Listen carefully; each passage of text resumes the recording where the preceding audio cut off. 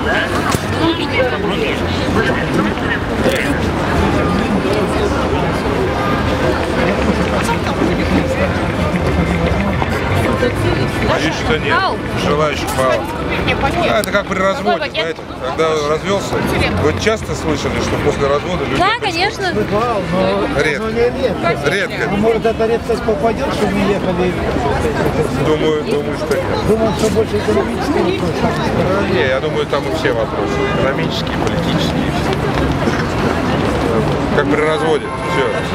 Знаете, жениться легко, развестись трудно. Что так тяжело, то есть легко разделиться? А, не 70 очень. Ну, потому что голодные были и думали, что...